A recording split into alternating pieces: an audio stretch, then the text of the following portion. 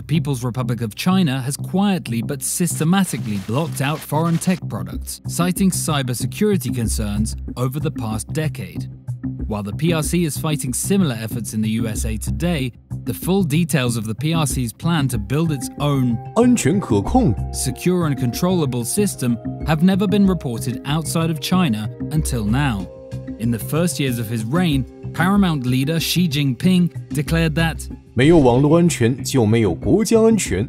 there is no national security without cybersecurity, and 建设网络强国要有自己的技术。to build network power, we must have our own technology, mandating the PRC build 构建安全可控的信息技术体系，a secure and controllable IT system while promoting 加快推进国产自主可控替代计划， domestically produced autonomous and controllable substitution plans.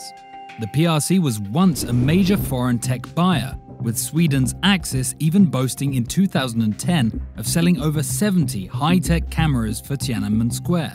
People's Daily lamented that in 2014, most of the core software and hardware is imported. China's information security situation is serious, and that PRC networks can't get rid of the United States.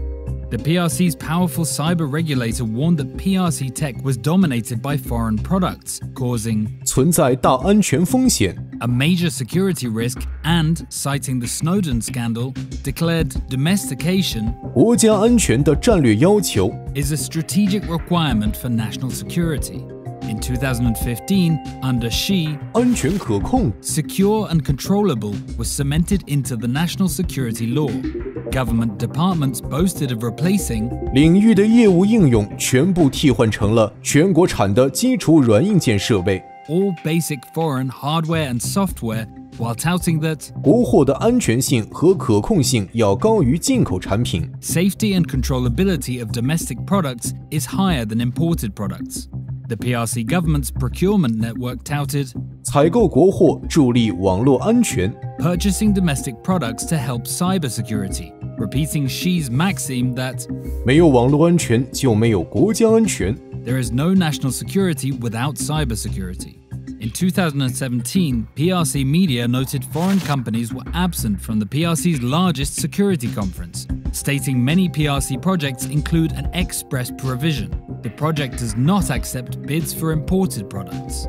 Today, PRC tech giants like Huawei and Hikvision often dismiss other countries' cyber concerns, but the PRC long ago determined that foreign products are a serious safety risk and systematically blocked them from its networks. This hypocrisy must be exposed.